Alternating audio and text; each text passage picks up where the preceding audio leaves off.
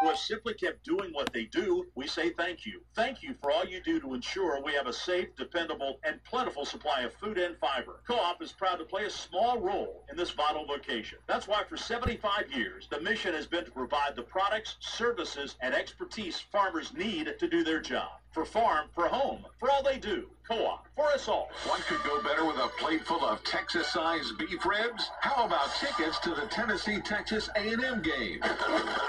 Food City and your local beef farmers are ready to serve up a Texas-sized prize. Every time you purchase a fresh beef product using your Food City value card, you're automatically registered to win a pair of tickets to see the Vols take on Texas A&M.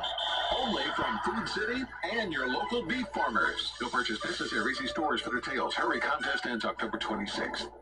Enjoy the world's most refreshing beer, Coors Light, all season long. Whether you're at Neyland Stadium or tailgating at home, crack open an ice-cold Coors Light, the official beer of enjoying college football wherever you are. When things heat up on the gridiron, Coors Light is there to cool things down because it's made to chill. This fall, reach for the beer that supports the Vols. Mountain Cold Refreshment. Coors Light, proud sponsor of the Tennessee Volunteers.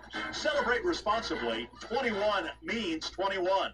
You're listening to the final scoreboard on the Vol Radio Network with John Wilkerson, Bobby Raider, and VFL Troy Fleming.